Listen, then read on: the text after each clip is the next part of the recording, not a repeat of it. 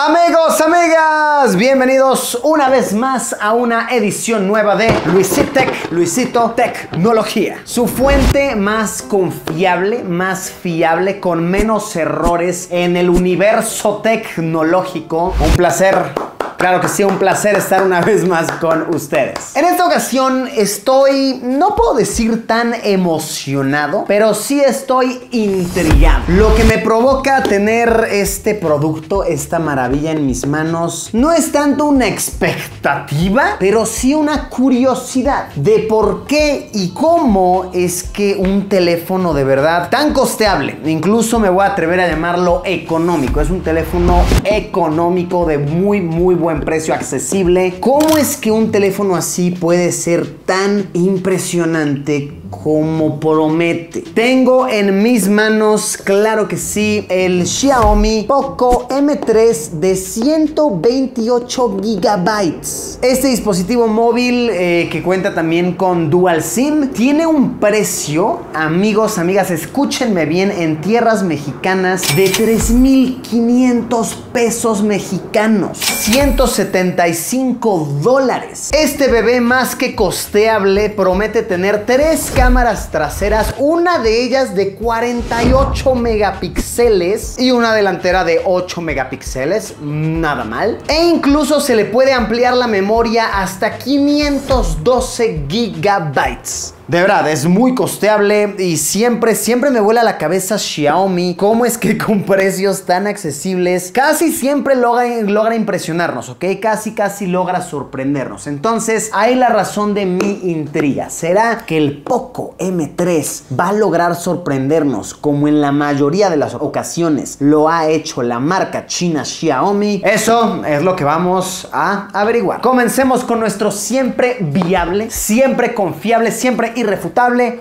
Um, Pues bueno, comencemos con esto. A ver, acá una observación interesante. Podemos leer que aquí dice Poco M3 with easy access to the Google apps you use the most. Con acceso fácil a las apps de Google que usas más. Hmm, ¿A qué se referirá con esto? Según yo, este teléfono viene con Android. Vaya, no, no tiene la maldición del Huawei que les quitaron el sistema operativo. Pero eh, este enunciado me llamó la atención. No lo sé, lo averiguaremos en breve. Ok, la caja es amarilla Ahí les va. ¿Por qué? Porque yo pedí el Poco M3 de color amarillo. Entonces me gustó muchísimo el detalle. Que de verdad todo es amarillo. Eso está muy bonito, ¿ok? La cajita, miren esto. Acá de venir, me imagino, como el instructivo. Tal vez los cables. Lo abrimos en breve porque ya quiero ver el teléfono. Estoy muy ansioso. ¡Oh! ¡Oh, sí! Este es el móvil como tal. Podemos ver que en efecto es todo de color amarillo. La verdad está muy bonito, ¿ok? Está, está bello, está precioso. Vamos a quitarle este plastiquito. Ajá, El tamaño está, wow, está grandecito. No sé por qué por su nombre, así de que poco. Yo me imaginaba que iba a ser pues chiquito, ¿no? Como de poco tamaño. Pero no, no, no. Este tiene un muy, muy buen tamaño. La parte trasera, a ver, vamos a ver cómo les puedo hacer notar. Es como, está muy cool porque es como antiderrapante, de verdad. Es como rasposito aquí atrás. Se siente un poco como, como si fuera una textura como de piel. Claramente no lo es, ok, claramente es, plástico, pero esa es la sensación que te da, de verdad está muy bonito. Me gusta mucho que se lea aquí el poco, en sí el, diseño está bonito, la verdad está muy lindo. Y el tamaño, a ver, miren, vamos a compararlo por ejemplo con mi iPhone, iPhone 12, ok, el grande, eh, es del mismo tamaño, ok, es, es igual de grande, wow, está, no, no, no, está muy impresionante, sí estoy muy intrigado. Tenemos aquí obviamente las tres cámaras, tiene eh, entrada de audífonos, eso está curioso, eso ya rara vez un teléfono lo trae, pero la verdad se agradece que lo traiga. Es como, brother, ¿qué te cuesta ponerle uno ahí en caso de que se me descompongan los inalámbricos o quiero usarlos de cable? Entonces se agradece que tenga la entrada de audífonos y, eh, bueno, obviamente se carga con USB-C. Por aquí, ah, nos incluye funda. Eso me encanta de los Xiaomi. Bueno, de los teléfonos chinos en general. Los Huawei también suelen hacer eso que te incluyen una funda, no sé. es como se agradece. Compañías como Apple ya ni el cubito cargado te incluyen y estos brothers, mira, hasta tu fundita para los rayones. Entonces está cool, aunque yo la verdad lo voy a dejar sin funda porque me da a entender como la, la textura del teléfono que no es fácil de romper, ¿eh? O sea, no es como, no sé, o sea, de que si aguanta sus golpes, eso es al menos lo que me da a entender, ¿ok? Lo que intuyo tan solo de sentirlo. Y en el resto de la caja viene, ok, claro que sí, te viene, esto ya está vacío, ok, es pura, pura caja, te incluye tu cable, ok, de carga rápida USB-C y tu cubote, que a ver, esto la verdad no me encanta de tanto Huawei como Xiaomi, que siempre te incluyen un cubote, pero de verdad grosero, de que A ver, supongo que debe ser por la carga rápida y demás, pero es muy estorboso. Más que emoción, les digo, era una intriga, pero ya viéndolo en mis manos y sintiendo que de verdad se siente lindo. Un teléfono de 170 dólares se siente así de lindo, se ve tan bonito. Ahora sí creo que ya, miren, tienen mi atención, tenían mi curiosidad, se han ganado mi atención. Vamos a cargarlo y vamos a poner a este bebé, al Xiaomi Poco M3, a prueba.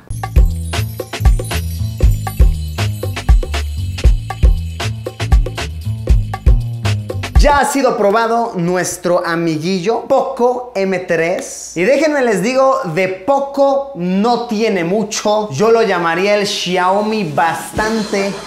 Porque wow, qué curioso e impresionante de cierta manera telefonillo. Lo diré de esa manera. A ver, siempre y cuando consideramos constantemente que es un teléfono de 170 dólares. Cualquier cosita, cualquier detalle que le encuentras es como, es un teléfono de 170 dólares. La cámara, la verdad, no es brillante. De hecho, está lejos de ser brillante, pero es un teléfono de 170 dólares. Tiene muchas curiosidades, de verdad, muchas curiosidades que no esperarías en un teléfono de una gama, a ver, es gama media, pero de un precio como gama baja. Aquí les van algunas de las que me llamaron más la atención. Número uno, este teléfono tiene reconocimiento facial, ¿ok? Y bastante veloz. Podemos verlo aquí, ¿ok? Ahí me está detectando la carita. Ahí está. Ahí ya me agarró. Y miren, lúcale, lo desbloqueo. Ahí está. Otra manera de desbloquearlo es con tu huella, ¿no? Con tu huella. Eh, yo, yo puse mi dedo pulgar, entonces luego, luego le pico y ya luego, luego se, se desbloquea. Que hablando de la seguridad del teléfono, me flipó que en este móvil puedes esconder aplicaciones. Yo no había visto algo similar en un teléfono tan, eh, de verdad, tan barato. Y miren, funciona de esta manera. Te vas al menú principal de todas las aplicaciones y vas a darle dos veces rápido para acá, ¿ok? O sea, tu dedo para la derecha y miren nos manda a esto de los iconos de aplicaciones ocultas. Entonces esto yo le puse que quiero protegerlo con un eh, código, con una contraseña adicional. Le puse que fuera de estas que pintas en la pantalla, entonces yo puse una L, ok, L y ¡boom! Lanza las aplicaciones que escondí, ¿no? Bueno, escondí aquí unas bien X, ¿no? Calculadora, brújula y un jueguito. Pero a ver, tú puedes esconder lo que sea. Puedes tener la mismita receta secreta de la Coca-Cola aquí y no se va a encontrar porque de igual manera puedes proteger fotos, videos, documentos, notas, otras aplicaciones en específico. Por ejemplo, puedes ponerle que cuando abres YouTube tienes que ponerle una clave. Cuando abres Instagram, entonces reduce este riesgo de mm, se me cayó el teléfono de la bolsa y estaba desbloqueado. Entonces, oh, si alguien lo recoge, ya tiene acceso a todo. No, no, no, no, no, brother. Alguien lo recoge y va a tener que saber otra clave adicional que tú creaste para estas aplicaciones. Eso la verdad me pareció algo brillante, la verdad, algo excelente. Y en general el teléfono tiene varias curiosidades muy cool. Eh, por ejemplo, a ver, esta me flipó. Miren, tenemos acá nuestras aplicaciones, ¿no? Tenemos varias abiertas, ¿no? Entonces, a ver, supongamos que estamos en YouTube, ¿no? Estamos en YouTube, queremos estar viendo un video, pero también queremos estar haciendo otra cosilla. Entonces, nos vamos a todas las aplicaciones y digamos que a la vez que estoy en YouTube, quiero estar curioseando YouTube Music, ¿no? Entonces, esta es YouTube Music, acá tengo YouTube. Lo que tengo que hacer es dejar apretado y con este de acá, chequen, ya tengo las dos aplicaciones abiertas al mismo tiempo. Tengo YouTube Music por acá, por acá tengo mi multitasking, ok, aprieto esta, búngale. Ya tengo YouTube abajo, entonces YouTube acá, estoy scrolleando, YouTube Music acá de igual manera. Y a ver eso con muchas cosas, tal vez tienes notas acá y acá tienes YouTube, estás viendo un video mientras haces tu tarea, por ejemplo. Y esta otra también está cool, miren, nos vamos a las aplicaciones y tenemos, supongo supongamos eh, YouTube Music lo quiero poner en una pestañita chiquita. Entonces, miren, aprieto aquí, boom. Entonces, mientras tengo mi pantalla principal de mi teléfono acá, tengo YouTube Music aquí y esto lo puedo mover de un lado a otro de la pantalla. Ahí está, miren, lo pones en la esquina. Entonces tienes chiquitito tu YouTube Music, ¿no? Y ya puedes estar haciendo otras cosas mientras tienes tu aplicación aquí abierta. La verdad eso me pareció brillante, brutal. Y entre otras curiosidades tiene carga reversible, es decir que tú puedes cargar otro dispositivo usando este como batería. La carga no es inalámbrica, vaya, no es de tacto, no es de estos teléfonos que tocas aquí, pones acá un teléfono y te, te lo va a cargar, sino que es todo con cable. Chequen, se los demuestro. Voy a conectar acá, ok, USB-C. Por acá tengo el eh, Lightning, el de iPhone. Entonces conecto este a mi teléfono y listo, ya estoy cargando, ok, ya mi batería, ya mi batería está siendo cargada con este dispositivo. Entonces, a ver, no sé, supongo que para hacerle el paro a un amigo, ¿no? Nada más igual y no presumas tanto esa función, ¿no? Porque ya tus amigos te van a agarrar de bajada. Ahora tráete tu Xiaomi, tú que puedes cargarlo. y te van a drenar la batería. Entonces, bien, es algo cool del teléfono, pero que yo mantendría en secreto.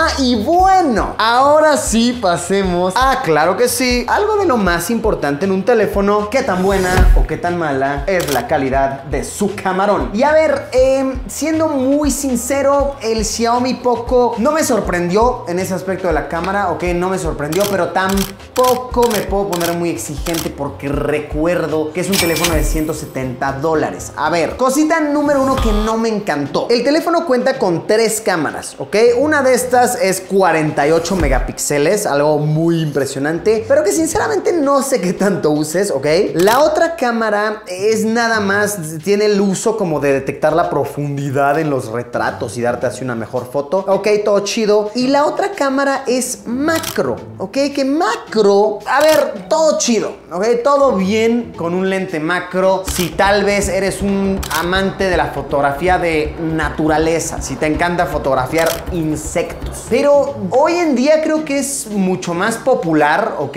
Vende mucho más y sinceramente es muy útil el lente wide, ¿ok? El, lente gran angular. ¿Qué es esto del lente gran angular? En caso de que no sepan, ¿ok? El lente gran angular es que básicamente tienes tu lente normal, picas acá y miren eso. O sea, miren, es el normal, wide, plácale, plácale. O sea, como lo dice su, su nombre en inglés, wide ancho. Es, yo creo que los teléfonos, si van a tener tres cámaras, una de ellas debe de ser wide. ¿Ok? Wide es vida, wide es amor. Otra función de la cámara que está bien intencionada, pero la ejecución es un poco mala. La cámara lenta. ¿Ok? Cámara lenta en este teléfono solamente graba a 120 cuadros por segundo. Que a ver, 120 cuadros por segundo está bien, eh, pero si la calidad en sí de la cámara es muy buena, si agarra bien los colores, bien la luz. Este teléfono, la verdad, no hace muy bien eso. Miren, acá les enseño tantito de lo que capturé aquí prendiendo el encendedor, ¿no? La, la, típica prueba. No sé, no, no me convence, no me encanta. Sirviendo una cerveza, ¿ok? No, no, no se ve tan épica esa imagen. No es realmente lo que estamos buscando cuando pensamos en cámara lenta. Pero recuerdo una vez más que es un teléfono de 170 dólares, entonces no me puedo poner tan exigente. Ahora, lo que sí está cool, ¿ok? La función que está cool es la función de los 48 megapíxeles ¿ok?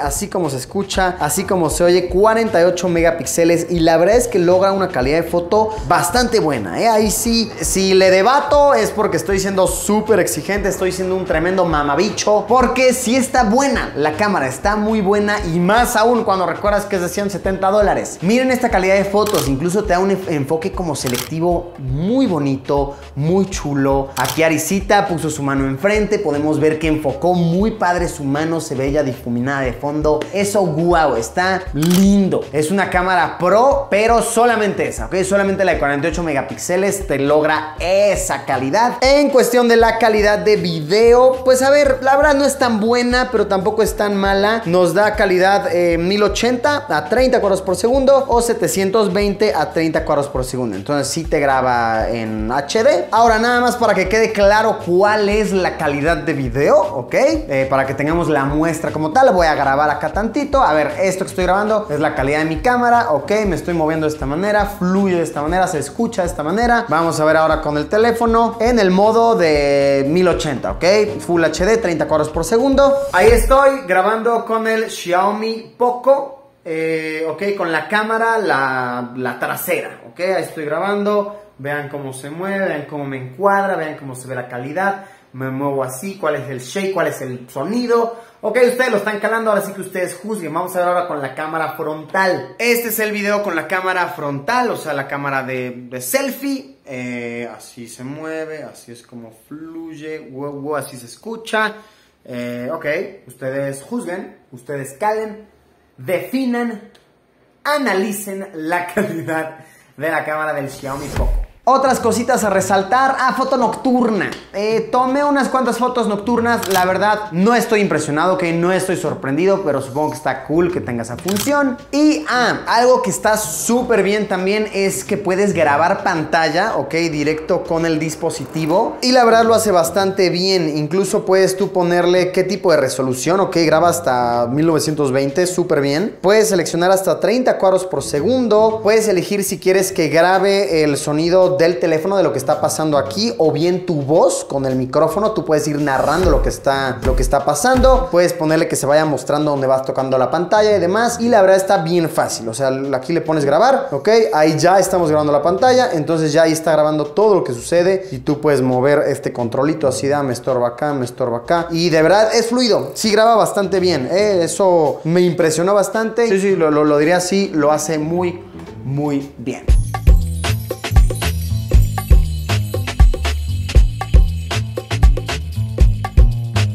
Pues creo que con eso se termina de abarcar eh, lo que hace este telefonito, la verdad, tan económico y tan impresionante en muchas cosas. Me ha gustado, la verdad, bastante y cuando recuerdo el precio, digo, uff, no, me ha encantado. Está, está brutal, está buenísimo. Lo, lo digo nada más por si las flies, esta no es mención pagada para nada, pero Xiaomi, si quieres por ahí patrocinar a Luisito Tecnología, se aprecia, claro que sí, claro que sí, se agradecería. Eso es todo por ahora, amigos, amigas. Eh, cuéntenme me faltó decir algo de este teléfono, algo no, no lo dije con suma precisión, pueden ponerlo aquí abajo en los comentarios, se aprecian sus colaboraciones y como siempre nos vemos en unos días con un video nuevo.